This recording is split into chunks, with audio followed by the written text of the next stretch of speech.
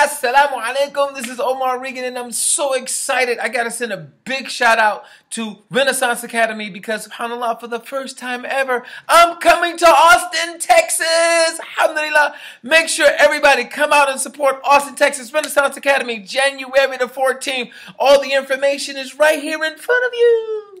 Inshallah, I'll see you there. Assalamu alaikum.